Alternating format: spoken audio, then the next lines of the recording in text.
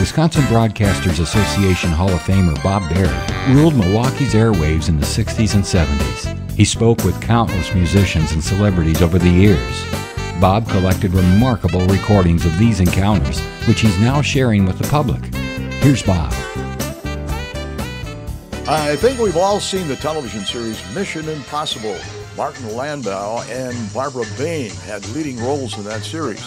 Martin was also in Alfred Hitchcock's North by Northwest, Cleopatra, and The Greatest Story Ever Told.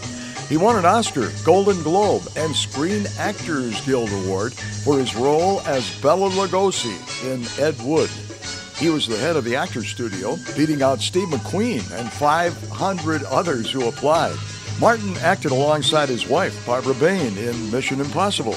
Barbara won three Emmys for her performance in the show. The couple returned to television in the 70s with a British science fiction series, which they'll talk about in this podcast. Yes. Yes, Martin Landau, please. Yes, this is Martin Landau. Go ahead. Bob Barry, WOKY Radio in Milwaukee. Yes, how How are are, you? Bob? good, how are you? All right. You got a couple seconds to talk with us? Well, we're, yeah, we're just kind of heading on to the airport, but I've got a couple of seconds, sure. Oh, is that right? You're uh, leaving this morning, huh? We're leaving this morning, that's right, for California. What, uh, what are you doing in Chicago? Well, we visited my wife's family and just spent a couple of days saying hello. We've been in Europe for two years. We I were in. England doing a new television series for Lou Grade, uh, a new space show, and we, uh, we spent two years in London and stopped in New York on the way back and stopped in Chicago, and we're heading back to California today. We be able to see this uh, program? Will it be shown in the United States? Well, It's going to be, uh, interestingly, it's going to be in 101 countries come September. Oh, that's great. And uh, it'll be all over the States, and you'll see it in Milwaukee. I, I don't know the station name there, but uh, What is the name of the program, Mark? it's called Space 1999. Uh-huh. And uh, will, will uh, Barbara Bain be in it? Your wife be My in it, too? wife is in it, and Barry Morse is in it. Hey, great. You know, we really enjoyed the uh, Mission Impossible. That you did such a fantastic, and well, and Barbara too, of course, uh, uh, on that program. And uh, uh, we're, you know, really looking forward. And that's that was the reason, main reason for my call to see when we're going to see you again. We'll be seeing uh, come uh, September. that's terrific. It'll be on in September. That's uh, what. Tell us a little bit about the program. Uh, Are, you, are we on the air now? yes, right, Oh, we are. right.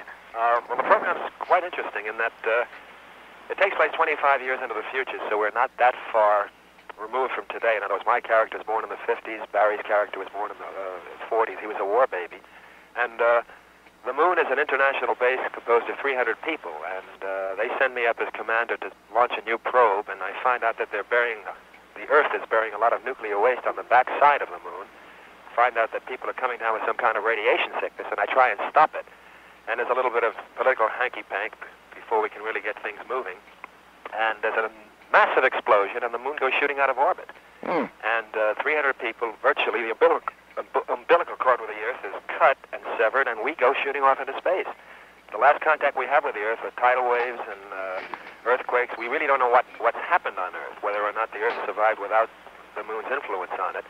And our week-to-week search is for a place to live because we are 300 people on a self-supporting base, which is hurtling through space, and we have no control over its path.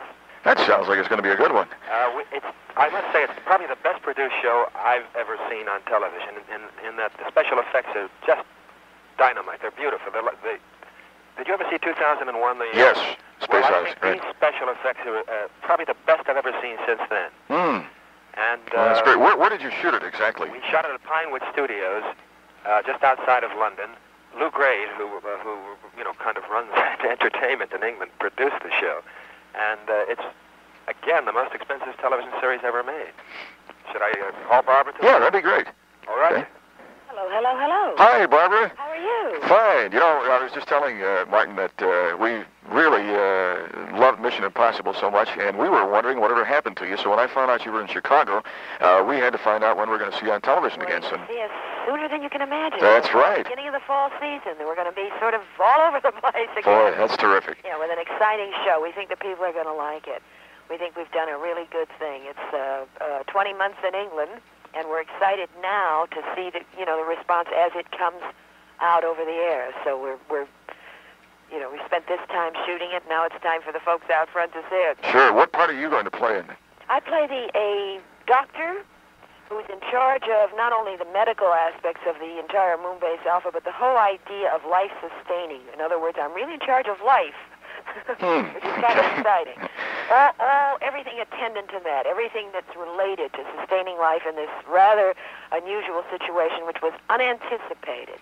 I don't know if Marty was able to explain how Yes, that he did, huh? uh, thing jumps off. Uh, do you have any children, Bert? Yes, we do.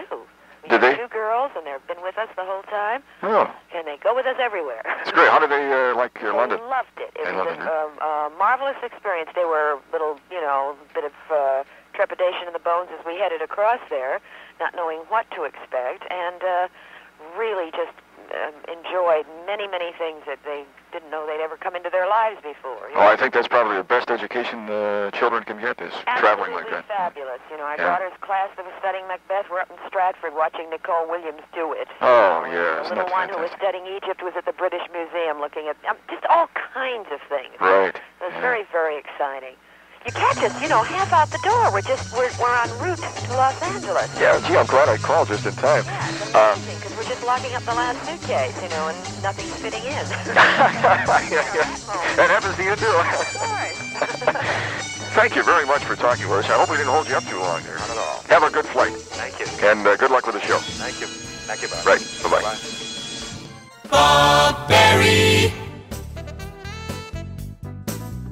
Thank you for listening to Bob Barry's Unearthed Interviews.